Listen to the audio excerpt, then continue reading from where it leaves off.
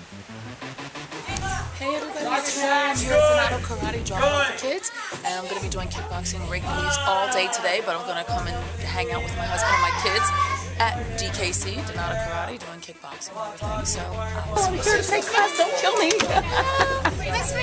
hey, I'm here at kickboxing. Oh no, I survived Dinoto's kickboxing class with Mr. Dinoto. Check them out. Go to